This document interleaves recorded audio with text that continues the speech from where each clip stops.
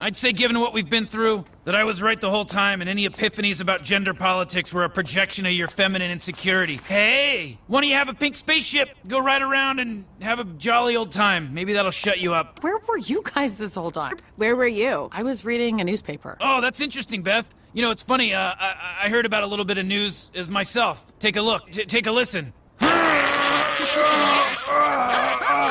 Wubba lubba dub dubs! This, this world still got a chance!